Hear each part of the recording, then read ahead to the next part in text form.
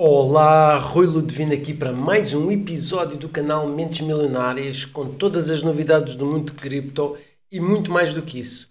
Estou muito, muito entusiasmado e expectante porque eu acho que a contagem decrescente está quase terminando. Faltam só dois dias. Porquê? E o que é que é isto dos dois dias? Eu já vos vou explicar. É algo que eu tenho falado já em alguns dos meus vídeos. E para começar, vamos falar aqui sobre as reuniões do Fed nos Estados Unidos, não é? Então, esta semana o Fed tem um montão de reuniões. Uh, Vice Chair Jefferson, hoje às 9 da manhã. Member Master, hoje às 9 da manhã. Member Cook, amanhã. Amanhã, quarta-feira, quinta-feira, quinta-feira, quinta-feira e sexta-feira. Bom, eles têm montanhas de reuniões e normalmente não é coisa boa, tá? Eles não costumam ser muito positivos, também com a economia como está lá e no mundo todo, não seria muito de ser positivo, mas, mas, mas, amanhã são os dados económicos dos Estados Unidos. E essa é a parte mais importante, é por isso que temos aqui estas reuniões todas uh, e é por isso que o Powell vai falar amanhã. Então, aqui temos o nosso, uh, o nosso Jerome Powell preparado. E o que é que nós temos aqui? Temos aqui, eles vão falar sobre a inflação, vão falar sobre a, infla, a inflação e a inflação, para vendas, etc. Várias coisas. Mas o mais importante é o quê? É a inflação. Será que eles conseguem controlar a inflação? Eu tenho dito sempre que não. A vida é energia, o dinheiro é energia, tudo é energia. E com guerras, petróleo não vai baixar, logo eles não vão conseguir controlar a inflação. Epá, é tão simples quanto isto. As coisas mais simples da vida são normalmente aquelas mais fáceis de, eh, de, de, de que funcionam. E para mim é esta, estou nesta fase da, do petróleo uh, não baixar, da guerra, dos gastos estúpidos que os Estados Unidos têm e que realmente vão fazer com que, bom, para já também despediram uma, arranjaram uma forma de haver muitos desempregados e como tal os dados estão assim. Só que qual é o problema? O problema é que a inflação espera-se que seja maior do que realmente. Não, a inflação que eles têm para partilhar é maior do que aquela que está prevista. E isso é muito negativo. Tá? Vai fazer cair o, as ações e vai fazer cair a cripto em geral. E é isso que está expectável. Só que eles, eles têm um truque na manga. Por outro lado, eles não podem, a partir de agora, começar a ter maus dados. Eu tenho falado nisto há meses. Porquê? Porque temos as eleições à porta, já se começa a falar, né? já, já há muita coisa aí nas eleições do Trump versus Biden. E neste momento, isto é da CNN, uh, eh, eles têm aqui o Trump com, 20, com 55% e o Biden com 33%, agora em janeiro de 2024, com mais 22%. E se recuarmos para outubro de 2020, estava 48, 41, com 7% apenas para o Trump. Então a coisa está tá mais 15% para o Trump do que estava nas últimas eleições e por isso não está muito bom para eles. Eles têm que fazer tudo o que tiver ao seu alcance para conseguir corrigir a inflação. E como é que eles fazem isso? Como é que eu tenho dito que eles manipulam os dados da, da inflação? E não é só eles, tá? É aqui no Brasil, é lá em Portugal, é em todo o lado eles manipulam. E agora vou-vos mostrar como é que eles manipulam ao a cores em direto, porque eu falo que eles fazem isso, mas não tinha ainda mostrado. Cá está, olhem aqui. Reparem bem o que é que eles vão tirar da, do cálculo da inflação. Vão tirar tomates, que é, é uma coisa que ninguém come. Todo mundo come, não é? Vão tirar comidas uh, enlatadas, que é quando há problemas na sociedade, quando há problemas de falta de dinheiro, etc., o pessoal vira-se para essa coisa enlatada. Ok? Mas mais do que tudo, olhem aqui, vão tirar o óleo vegetal, o óleo vegetal, é? que é também uma base da comida, né? E vão tirar aqui uma coisa incrível, que é o café. Tá? O café. O café no último ano nos Estados Unidos aumentou 78%. Aquilo fatura lá bilhões. Imagine, e é tudo importado, né? Vem aqui do Brasil, principalmente, e da. da ai.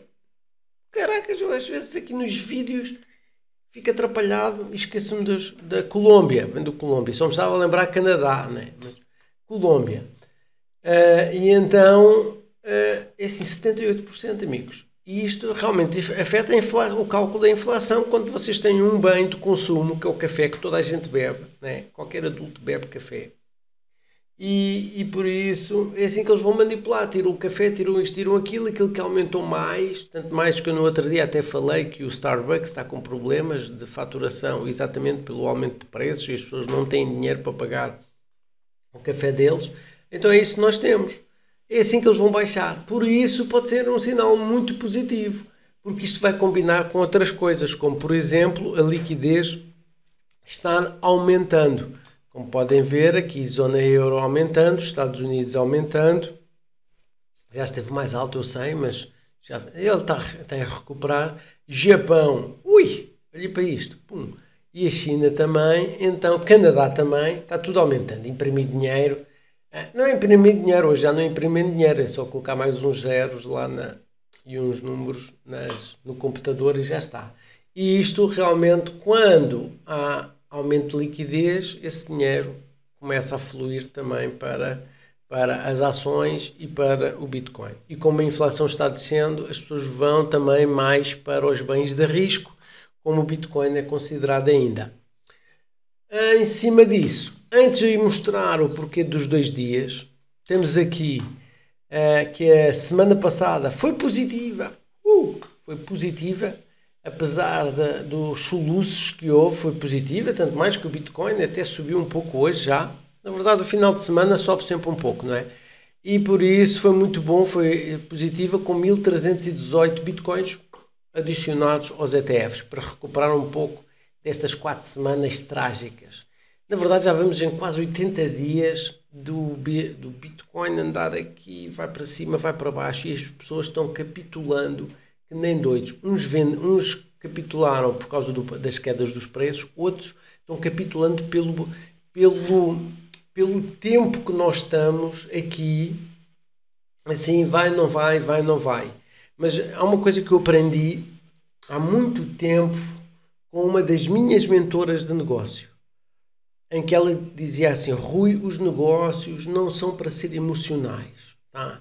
Não é para, ai, o Bitcoin vai para cima, yeah! Ai, o Bitcoin vai para baixo, estou desgraçado. Ai, o Bitcoin subiu, opa, espetacular. Ai, o Bitcoin desceu, estou desgraçado, tá? Não é para ser assim. Tu tens que manter as tuas emoções como um morto. E, e eu treinei-me treinei para, para estar assim. Não quero saber. Mas também para isso nós temos que nos preparar, já com antecedência. Eu já falei disso muito nos meus vídeos. Nós temos que nos preparar para isso, porque vai acontecer, ou ia acontecer, ou já, ainda vai acontecer outra vez. Mais na frente vai acontecer outra vez. Mas neste, ter estas semanas todas assim, nós temos que estar preparados. Temos que estar preparados financeiramente e emocionalmente. Emocionalmente não há nada a fazer a não ser você se preparar e saber que vai acontecer e não negar a você mesmo que não vai acontecer. E saber que se acontecer, você não quer saber. A outra está relacionada, essa parte emocional, com o seu dinheiro. O que é que é isso? É que se você colocou demasiado dinheiro nos investimentos cripto e precisa desse dinheiro, você é muito difícil não se emocionar e não capitular, ou seja, vender, eh, vender porque assim não quer mais estas emoções negativas, esta tristeza, esta forma como é que eu estou no dia a dia que eu me levanto de manhã, olho para os preços, ai meu Deus, estão a ver? Então nós precisamos de nos manter imparciais e como a máquina no morto. Uh, e basicamente é isso que a gente precisa. Então, se você tiver demasiado dinheiro investido, você não vai conseguir conectar as duas coisas. Se tiver, se não precisar do dinheiro, é só esperar. Estão a ver? Essa é que é. Então, então é por isso que não se pode colocar tudo, a gente tem que ter a nossa almofada e o ideal são seis meses de almofada. Para, para quem for como eu, não é, que trabalho por conta própria, eh, eu não posso estar a colocar o dinheiro todo na, na cripto porque eu preciso de dinheiro para pagar as contas. E então eu não posso ter lá tudo, tenho que ter sempre uma almofada de seis meses para se houver um inverno cripto durante o verão cripto. Amanhã vou falar mais sobre isso também. Ok? Outra coisa positiva que temos, El Salvador, tenho falado nisso, mas queria só partilhar com vocês exatamente, já vai com 5.748 bitcoins e esta escadinha é o DCA deles. Estão a ver? Compram um bitcoin por dia. Não estou a dizer que você tem que comprar um bitcoin por dia, porque isto é um país, não é? Mas DCA. DCA é comprar regularmente um volume do seu objetivo para chegar ao seu objetivo que não influencia as suas finanças. Estão a ver? Eu falo sempre nisso por causa da parte emocional. Então, em dois dias, o que é que vai acontecer? Amigos, é assim. Esta é uma imagem até que eu editei para partilhar no meu grupo do, do Telegram. Estamos lá a falar, vai ser, porque é que diz isso, por, porque é que em dois dias, ou eu até falei numa semana, duas semanas, pode acontecer que o Bitcoin pode subir. A probabilidade é muito grande e eu vou-vos dizer porquê. Tá? Então, sempre que o stochastic, não sei dizer isto em português, RSI, que são estas duas linhas, estão aqui, amarela e azul, estão a ver? Quando elas se cruzam abaixo do 20, normalmente o Bitcoin sobe. Isto é no gráfico de uma semana, tá? Então estão a ver aqui, cruzaram-se abaixo do 20, chegou aqui, o Bitcoin começou a subir, depois foi uma explosão. Aqui cruzaram-se, mesmo no 20, o Bitcoin subiu. E isto tem que ser no bull market, no bear market não funciona. Por isso é que eu marquei aqui bear, porque esta parte aqui em baixo não funciona. Mesmo assim, reparem, se a gente for aqui, ele subiu, andou aqui, subiu um pouco, mas isto é bear market, acaba sempre por cair bastante. Aqui também, quando cruzou, ele subiu um pouco, mas voltou a descer e aqui foi a FTX. Mas é como está. Mas aqui, quando começou o bull market, que foi aqui, eu, quando, quando houve esta quebra do, da FTX e isto caiu aqui, eu para mim foi quando o Bitcoin chegou aos mínimos. Foi aqui que eu comecei a fazer DCA, tá? Então, eh, na verdade ainda comecei aqui, não estava à espera da FTX, estava a mentir. Eu comecei aqui em setembro, estão a ver? Aqui assim. Uh, então, aqui subiu, aqui foi só uma questão de esperar um pouco e ele começou a subir. Se nós viermos para aqui, a mesma coisa. Estão a ver? Ele teve aqui, isto são semanas. Começou a subir, depois caiu, depois subiu, depois caiu, caiu, caiu e começou a subir. Então, cada, cada vela destas, cada tracinho, é uma semana. Tá? Pode não ser imediato. Aqui foi imediato. Ok? Aqui foi janeiro, acho eu, e foi logo imediato. Aqui não conta. E aqui foi a manipulação, foi o pico do bull market. A ver? Tivemos esta esta corrida toda para aqui e depois houve esta queda. Isto houve aqui manipulação de alavancagens, de, de todo o tipo, FTX, o Elon Musk também andou ali, vendeu, disse que ia vender e depois o pessoal caiu todo aqui. Estas duas semanas foram terríveis e depois começou a subir tudo e fomos ao valor máximo histórico aqui. Então, se não tivéssemos tido esta capitulação, isto se calhar até devia ter subido e depois começava a descer por aqui abaixo como nos outros ciclos. Estão a ver? Mas não foi assim. Então a gente chegou aqui embaixo. É verdade que se nós estivéssemos aqui na prima, no primeiro cruzamento abaixo dos 20, aqui já dava, já dava para, para subir. Estão a ver? Mas eu preferi. Tivemos aqui muita semana assim águas de bacalhau, apesar de termos subido aqui bastante, depois caiu, etc. Preferi avisar só esta parte. Teria funcionado na mesma? Rui, teria funcionado na mesma porque ele veio daqui, que é esta, veio daqui, não, aí não tinha, aqui já não tinha porque ele caiu muito, só mais para baixo, estão a ver? Aquilo também estava mesmo no 20. Aqui, mas onde é que nós estamos hoje, Rui? Estamos aqui. Até vou fazer um zoom deste ponto. Reparem, estão mesmo a tocar, isto é um dia ou dois, a ser esta semana. Estão a ver? Será que vai subir já o Bitcoin? Se calhar causa do Jordan Paul amanhã, sim. Se for, se for positivo, amanhã já as coisas podem começar a subir. Se for negativo, não, ainda vai cair mais, as coisas vão aqui dar mais para baixo, até é capaz de cruzar na mesma, mas vamos ter que esperar mais, se calhar uma semana. Estão a ver? Mas as pessoas estão capitulando, estão vendendo, estão desistindo, estão perdendo o foco, porque está chato demais. Mas é bom chato demais, calma, é preciso. E eu já avisei: quanto mais tempo andarmos nesta região aqui, em consolidação, maior vai ser a explosão. O, a história tem mostrado isso. Rui é 100% certo? Não, mas a história costuma rimar. Então é só preciso calma. Nós não, será que nós chegamos já ao inverno cripto? Não acho que isso aconteça. Na verdade, estou preparando um vídeo que é sobre o inverno cripto e o verão cripto para vocês verem se realmente os ciclos funcionam, se não, não. Pronto. E, e, é isso, pessoal. Então, já agora, se gostam dos meus vídeos, antes de eu continuar, esmaguem o botão de curtir, compartilhe, curta, comente, ajudem o canal, que todos os dias às 18 horas de Brasil e 21 horas de Portugal, eu coloco aqui um vídeo com todas as novidades do mundo cripto. Vamos só ver aqui mais algumas coisas que, que, eh, que realçam ou que não contradizem, mas uh, real, é, realçam ainda mais uh, o que nós vimos até agora, hoje. Então diz assim, condições instáveis em torno do evento do halving são a norma. Se a história servir de indicação, o melhor ainda está para vir. Envie tudo para cima. Estão a ver? É, igual, é igualzinho. Falam shop, shop, shop conditions. É, aqui traduziram condições instáveis, é verdade. Shop, shop quer dizer shop, shop. Então andamos aqui, é, é, não, é tão igual, tão igual, tão igual que até assusta, pessoal. Estão a ver? Tão igual. Ele diz aqui: o Bitcoin pode estar formando uma grande consolidação pouco antes de um grande rally. Em 2017, lembro-me também, foi quando eu comecei, nesta região, estão a ver? O Bitcoin caminhava de forma semelhante. Se der início ao rally, mais de 100 mil dólares podem ser alcançados prontamente é só repetir a história.